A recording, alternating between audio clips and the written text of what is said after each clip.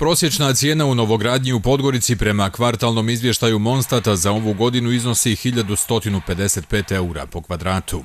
Investitori na svakom prodatom kvadratu zarađuju između 15 i 40 odsto, kažu građevinski stručnjaci. Prema statistici, cijena same izgradnje objekta bez uređenja prostora je 336 eura po kvadratu bruto površine. Građevinci objašnjavaju da pored ovog troška investitori imaju i brojne druge koji utiču na konačnu cijenu stana. Da bi vi napravili taj objekat, nije samo građevinski materijal i radna snaga, vi morate projekte, vi morate revizije, vi morate nadzore, vi morate neke sve te divne druge elaborate da radite, a sve to košta. Njima dobit po kvadratu nekih 170 eura. Znači, to je minimalno.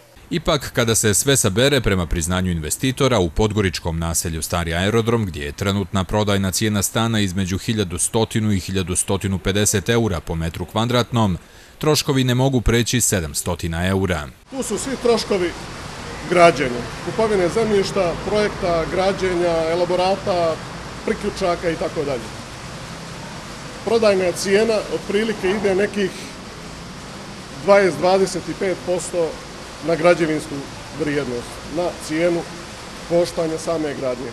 Recimo, ako, ga, ako, vas, košta, ako vas cijena građenja košta 670 do 700 eura, vi taj stan od prilike na starom majedu možete da prodate oko 900 eura po kvadratu.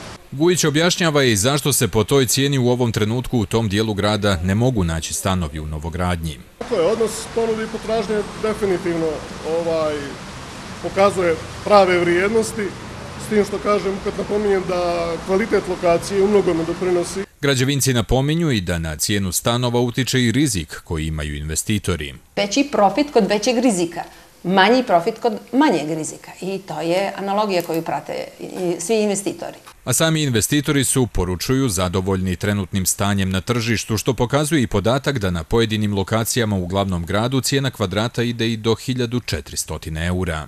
Tržište daje odgovor na sve očito da ima tražnje, očito da se stanovi prodaju i sama gradilišta koja vidimo po gradu daju odgovor na to.